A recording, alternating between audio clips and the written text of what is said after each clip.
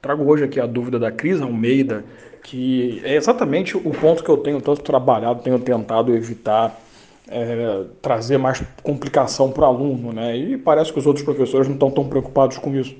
Porque ela pergunta é o seguinte: ela fala que no concurso dela, o edital colocou lá licitações, conceito, aplicabilidade e prática da Lei Federal 8666 e suas alterações. Ela pergunta: pô, se ainda não foi aprovada a lei de licitações nova é, esse projeto ele já pode ser cobrado? E aí entra exatamente a história. Assim. Dois pontos que são importantes a gente notar. Primeiro, não, não pode ser cobrado. Ainda é projeto de lei, então enquanto não for transformado isso numa lei efetiva, ele não tem validade.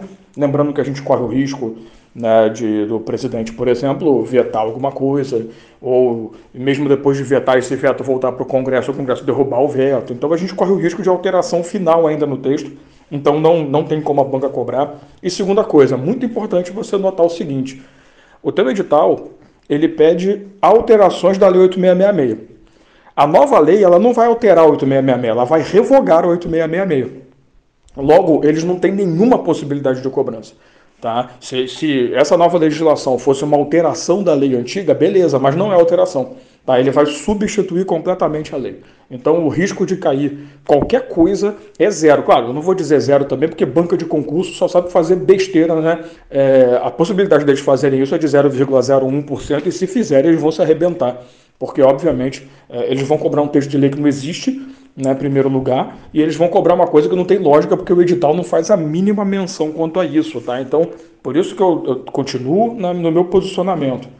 Esquece essa lei, finge que ela não existe, continua estudando. Quem está com o edital em mãos, então, nem se fala. Não perde tempo vendo videozinho de professorzinho que blablazinho que está explicando para você a nova lei, sem ele saber que essa lei vai realmente funcionar daquele jeito ou não.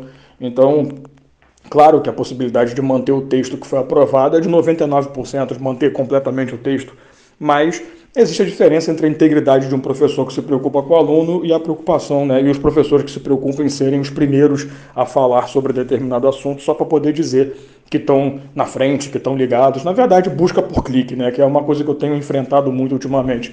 Né, parar de buscar clique e se preocupar mais com o aluno é uma preocupação que os professores deveriam ter, mais com essa geração atual de vida, né, em que a galera está se preocupando tanto com imagem e internet Infelizmente, nem todo mundo se adequou a essa realidade. Mas é isso, tá, Cris? Então, espero que tenha ficado claro a ideia. Né? Não tem a possibilidade nenhuma de ser cobrado.